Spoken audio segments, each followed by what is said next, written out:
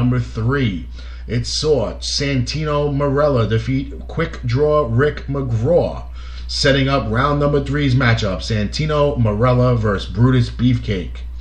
Special Delivery Jones knocked off Johnny Rodz, and it was Iron Mike Sharpe defeating Bushwhacker Butch.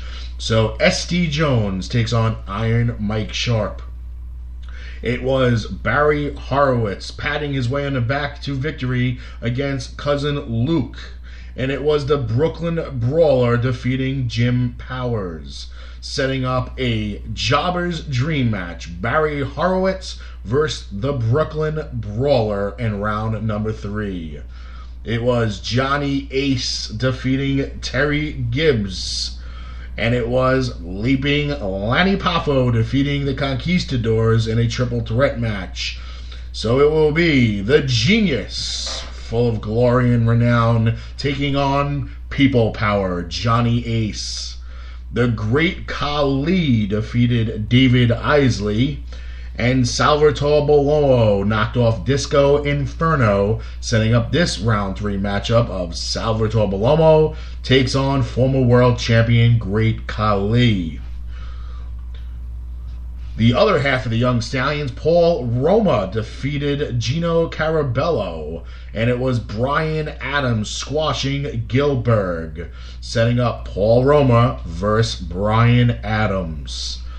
It was Drew McIntyre, the show's one, defeating Norman Smiley. And Boris Zhukov out muscling the Mulkey brothers in a triple threat, setting up Boris Zhukov and Drew McIntyre in round three.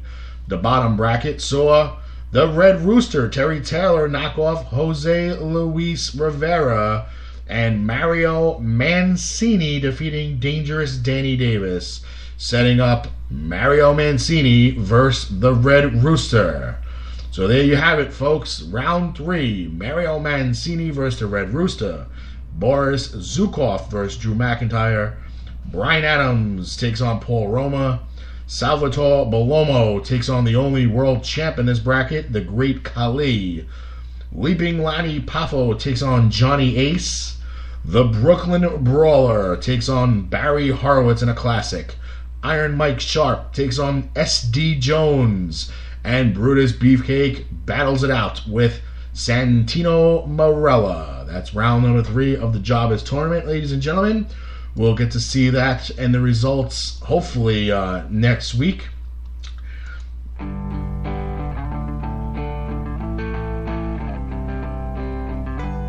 But at this time, ladies and gentlemen, it's getting to that time where we have to wrap up show number 13 and put it to bed and uh, put it officially in the books. I want to thank Low Life Louie Ramos for coming on the show and uh, sharing some stories with us uh, about his wrestling past, his present, and right now his unknown future. So um, hopefully we get him on the show when that future is known.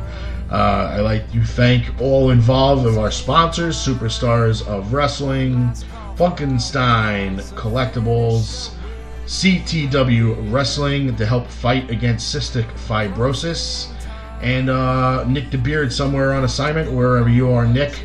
Uh, hopefully driving safely.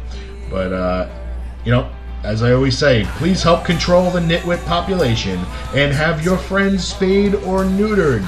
Next week, our WrestleMania 31 pre show will include the very young and beautiful and talented Paris Kelly will be on the show.